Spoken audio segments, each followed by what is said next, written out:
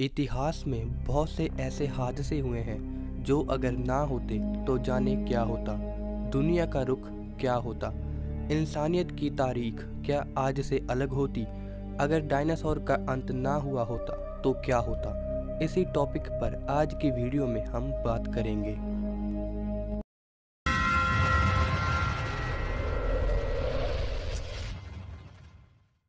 बताया जाता है कि करीब छः करोड़ साठ लाख साल पहले, एक एस्टेरॉयड हमारी धरती से टकराया था।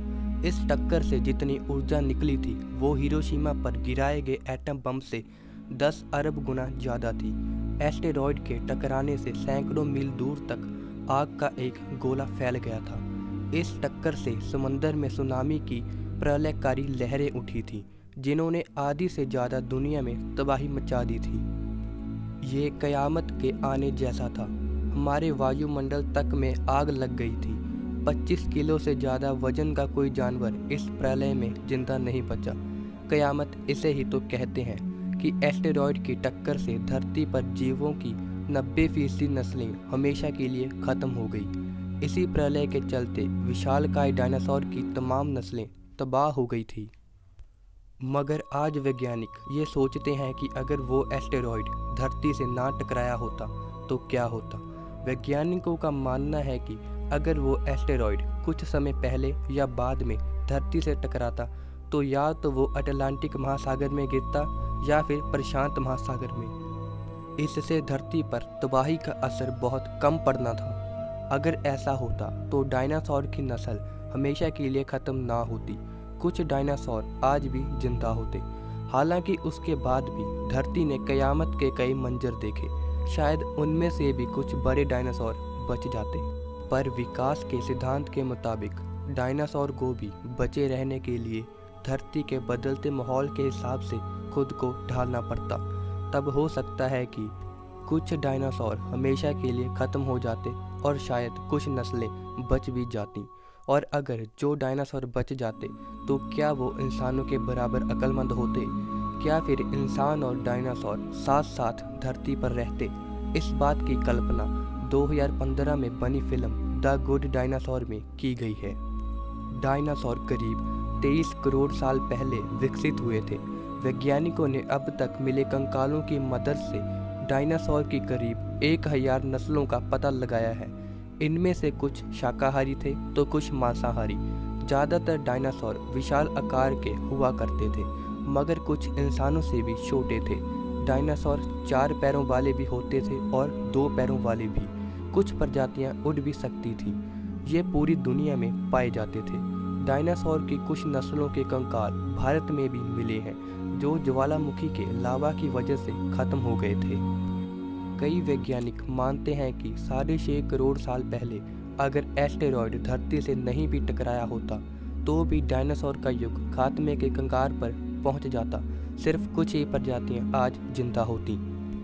डायनासोर ने अपने दौर में बहुत बुरा भक्त झेला, फिर भी उनकी सैकड़ों नस्लें बची रही थी। 16 करोड़ साल तक डायनासोर का धरती पर राज रहा था। विकास की प्रक्रिया में ये इतना आसान नहीं था। वो धरती के बदलते माहौल के हिसाब से खुद को ढालते आ रहे थे। तो अगर डायनासोर आज भी ज़िंदा होते तो उनके लिए चुनौतियाँ क्या क्या होती? पहली चुनौती तो धरती की बदलती आबो हवा होती। उनके दौर में धरती का तापमान आज से 8 डिग्री सेल्सियस ज़्यादा था। तब आज से ज़्यादा जंगल थे, जिनसे उन्हें आसानी से चारा मिल जाता था। इस माहौल में कुछ साइरोपाइड डायनासोर ज़िंदा रह जाते। वो आज की गायों के बराबर होते। ऐसे कुछ डायनासोर के जीवाश्म यूरोप में मिले हैं। आज से करीब साढ़े तीन करोड़ साल पहले दक्षिण अमेरिका अंटार्कटिका से अलग हो गया था।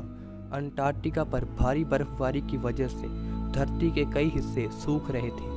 जंगलों की जगह घास के मैदान विकसित हो रहे थे। उसी दौर में घोड़े जिराफ जैसे जीव विकसित हो रहे थे। वैज्ञानिक मानते हैं कि डायनासोर की कुछ नस्लें भी इसी तरह अपने आप को बदल कर बचाने में कामयाब हो सकती थी। शायद वो आज के दरियाई घोड़े या गैनों जैसे होते। ढेर सारे दांतों वाले हाइड्रोसोरस के जीवाश्म हमें मिले हैं, जिनके एक हज़ार दांत हुआ करते थे, जबकि आज के घोड़ों के 40 दांत ही होते हैं। अब जिसके पास इतने दांत हों, उसके लिए चारा यानी घास चबाना आसान होगा। डायनासोर की आँखें भी तेज हुआ करती थीं, इसलिए वो अपने करीब आते खतरे को भी दूर से ही पहचान लेते। इसलिए आज के घोड़ों या गायों के मुकाबले उनके बचने की उम्मीद ज़्यादा थी। कुछ उड़ने वाले डायनासोर आज के चमगादड़ों की तरह ही खुद को बदलते माहौल के हिसाब से ढाल लेते, या शायद सांप छिपकलियों की तरह वो भी बिल बनाना सीख जाते। अगर डायनासोर की नस्लें आज तक ज़िंदा होती तो क्या उनके शरीर के साथ साथ उनका दिमाग भी विकसित होता? क्या उनकी अकल इंसानों के बराबर या उनसे ज़्यादा होती? अगर ऐसा होता तो शायद वो आज इंसान की बनाई फ़िल्में साइंस फिक्शन फ़िल्मों में दिखने वाले एलियन जैसे होते। पर यह सब तब होता अगर वो एस्टेरॉयड धरती से ना टकराया होता। पर हकीकत में ऐसा हुआ था और डायनासोर ख़त्म हो गए थे। आज की ये रोमांचक वीडियो आपको कैसी लगी, हमें कमेंट करके ज़रूर बताएँ और ऐसी ही इंटरेस्टिंग वीडियोस के लिए चैनल को सब्सक्राइब ज़रूर करें।